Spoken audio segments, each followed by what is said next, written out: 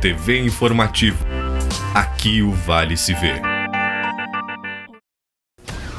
Veja na edição de hoje o quadro Papos de Mulher da Tropical FM e TV Informativo, agora é programa na Independente AM. Cruzeiro do Sul já prepara a sexta Expo Cruzeiro e Festa do Aipim. Acompanhe pelo Vale com as notícias da região. No quadro Nossos Amiguinhos, ajude você também. Confira o Papos de Mulher com Aline Silva. E ainda o comentário do médico Marcos Franck, agora no Informativo Notícias desta terça-feira, dia 1 de outubro.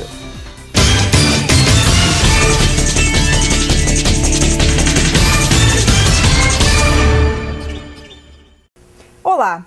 Tudo começou com um quadro na Tropical FM falando sobre o universo feminino. Depois passou a um quadro aqui no Informativo Notícias e agora virou um programa de uma hora na Rádio Independente que vai ao ar todos os sábados. No comando, Aline Silva, com produção de Angélica Machado.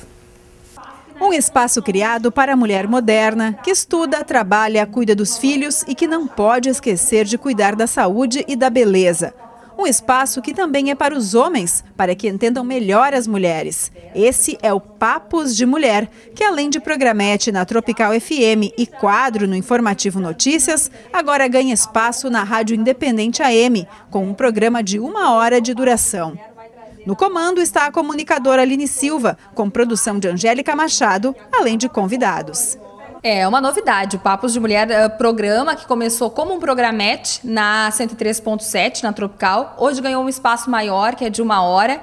E é um baita desafio, né? Garimpar pautas e levar para um público que é muito seleto e que busca muita informação, que é o público feminino, um bate-papo semanal. Embora o Papos de Mulher é para todas as idades e para todos os sexos. Eu costumei falar durante todo a, toda a divulgação do programa que o Papos de Mulher é muito mais para homem, né? Porque desejo do homem é desvendar a mulher. E o Papos de Mulher vem para ajudar também. Então, por isso, o Papos de Mulher, às, às 10 da manhã do sábado, tem essa, essa intenção de levar até o homem também muitas pautas sobre as mulheres. E é um enorme desafio, né? Um espaço muito importante que a gente conquista aí depois de muito trabalho. Uh, foi, é uma longa jornada, né? A gente se prepara todos os dias para assumir o microfone de uma grande emissora como a Independente. Mas é sempre um grande desafio. A gente uh, prepara-se todos os dias, né? Ao entrar no ar mas assumir um espaço teu e, estar à frente desse programa é um desafio constante. Profissional experiente na produção de programas no Grupo Independente, Angélica Machado produz o Papos de Mulher. Ela é a responsável pela pauta, programetes e convidados. As pautas e a, a produção, pautas e programetes, a gente vai vendo sempre um assunto voltado para a mulher, não só para a mulher, para o lado masculino também, né? A gente tem os quadros de Bem com Espelho com a Bárbara Bottoni, o Aplicativos com a Natália Ribeiro e Na Cozinha com o Daniel Bortolini. As pautas, a gente já tem uma pré-pauta feita, ah, até inclusive assuntos diversos, vão sempre surgindo assuntos voltados procurando até pelo ouvinte, vai interagir muito com a gente, através de telefone, e-mail, pra, sugerindo a pauta para a gente ter para apresentar no próximo programa, sempre com a Aline abordar assuntos de interesse geral, com um toque de quem vive a realidade do mundo feminino, é a marca do Papos de Mulher. E se para quem ouve as mudanças podem acontecer a partir do material veiculado, para quem apresenta e produz, não é diferente. Eu costumo dizer que no meu atual momento eu vivo papos de mulher, né? Porque tudo pode ser uma pauta, tudo pode ser um comentário, uh, embora nem sempre a gente vai atingir todas as mulheres que estão nos ouvindo, ou homens, enfim, o nosso público, mas é esta a intenção, é viver papos de mulher. E o que pauta o papos de mulher? Eu costumo dizer a mulher moderna e explicar o que é a mulher moderna, né? Que é aquela que hoje voltou a estudar, aquela que tem filhos, aquela que, assim como eu, limpa o banheiro, faz comida, trabalha, enfim, tem uma jornada muito mais do que dupla, né? A gente costuma dizer que a mulher tem uma jornada dupla, mas não é dupla mais há muito tempo, né? São várias atividades. Então é um desafio constante, um aprendizado também. Porque muitas vezes um ouvinte uh, nos pede determinada pauta e trazer ela para o ar é bem delicado, porque antes de colocar no ar eu preciso ter certeza que aquilo também dá certo. Então eu aprendi muito com Papos de Mulher. Uh, eu mudei muito com Papos de Mulher. Eu aprendi talvez a ser mais vaidosa, a cuidar melhor do meu cabelo, da minha alimentação, da minha a saúde, já projetar aí uma primeira gestação, tudo isso quem me trouxe foi uh, o Papos de Mulher, que começou aí há três anos já na Tropical e hoje com todo esse espaço, inclusive na TV, faz com que a gente possa repensar também a vida, né? A minha ideia toda vez, quando entro no ar, é tocar uma mulher e mudá-la com aquela pauta.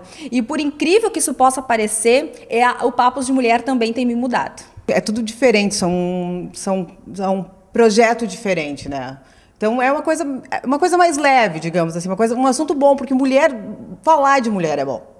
É uma coisa muito interessante. Então é, um, é, diferente, é um projeto bom, é gostoso. Tu tem aquela coisa de trocar ideias, tu tá sempre falando, bah, esse assunto tu pode trazer, esse assunto tu não pode trazer.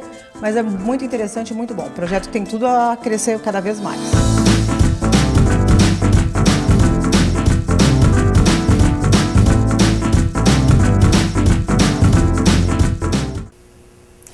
Virtude do mau tempo, o evento Pet Show, desfile de animais domésticos, que seria realizado no último sábado, foi transferido para o próximo sábado, dia 5 de outubro. Será às 3 da tarde no Parque dos Dique. Terá medalha para primeiro, segundo e terceiro lugar. Os animais serão avaliados por jurados em um desfile individual em tapete vermelho com música e leitura do perfil do animal.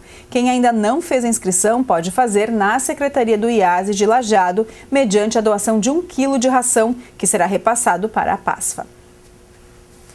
E a fiscalização de comerciantes que estão expondo produtos junto às calçadas de passeio em Lajado será intensificada pela equipe da Secretaria de Planejamento. Em reunião com representantes da CDL de Lajado, a titular da pasta Marta Peixoto, juntamente com o assessor jurídico do município Edson Kober, apontaram o problema à entidade. Conforme o Código de Posturas, a infração pode incorrer em multa e inclusive cassação de alvará.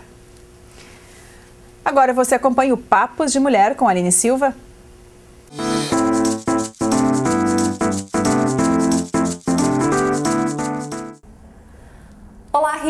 Olá, mulheres de casa! No Papos de Mulher de hoje, a postura dos homens em relação ao sucesso das mulheres. Um estudo recente dizem que os homens se sentem fracassados ao avaliar o sucesso da companheira, seja ela a esposa ou namorada. O estudo foi feito na Universidade da Flórida e analisou 900 pessoas. E em todos os testes, os homens mostraram sentir fracasso e até mesmo tristeza relacionado ao sucesso e o êxito da companheira, mesmo que esse sucesso da companheira não tenha sido conseguido numa atividade de disputa direta com o parceiro. Os homens sentem-se fracassados, segundo esse estudo, com o nosso sucesso. Diferente das mulheres, o estudo mostrou que a mulher sente-se feliz e com sentimento de êxito quando o parceiro vai bem em qualquer atividade. O estudo também mostrou que o relacionamento dos casais melhora e muito quando o homem mantém domínio, mantém sucesso, por exemplo, no seu trabalho, se relacionado com a mulher. Este foi, isto foi o que mostrou o estudo. E agora a pergunta que fica no Papos de Mulher e Análise é por que esse sentimento de fracasso relacionado ao nosso sucesso? Não seria porque a sociedade cresceu muito, mudou, evoluiu, superou barreiras, mas ainda tem muito machismo e o homem ainda precisa ter uma situação de domínio sobre a mulher? Reflita sobre isso. O Papos de Mulher de hoje fica por aqui e volta lá na próxima terça-feira. Até lá!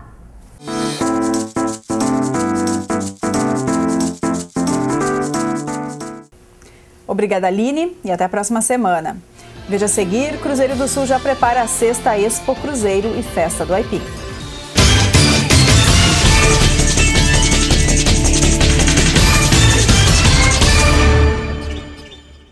Quicão, há mais de 30 anos as melhores opções gastronômicas de Lajeado. Restaurante e pizzaria, almoço ao meio-dia, lanches variados. Quicão Lanches, gostoso é ter este sabor. Cada pessoa tem sua história. A Joana fez o técnico em RH à distância para conciliar com o sonho de ser mãe. Então escolheu o Senac, a maior rede de cursos técnicos à distância do estado já o Marcelo reingressou no mercado de trabalho graças ao técnico em segurança do trabalho.